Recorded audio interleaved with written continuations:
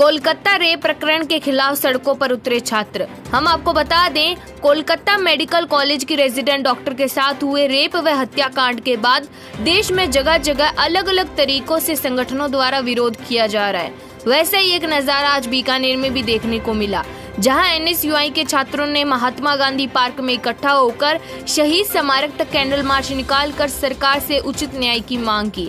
इस मौके पर बीकानेर के और आसपास के एनएसयूआई के कार्यकर्ता और अन्य विद्यार्थी भी मौजूद रहे।